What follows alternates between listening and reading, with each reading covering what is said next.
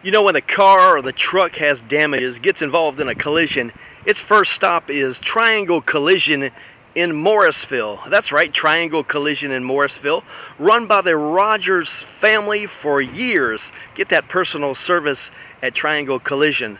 But on this Friday, all the cars and trucks with damage move aside because it's customer appreciation party at Triangle Collision in Morrisville. Check it out. Give us an invite. You've got an invite right here, but let us know you can respond. I'm Lawrence Tibbetts on LinkedIn or Facebook, Lawrence Tibbetts.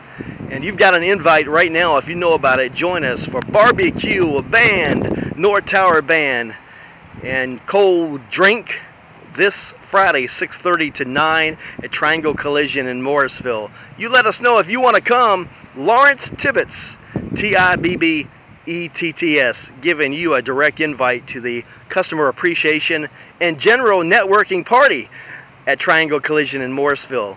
I'm LT with Servpro of Raleigh, Southeast, Southwest, and you let us know if you're coming to the party gathering this October 26th, this Friday.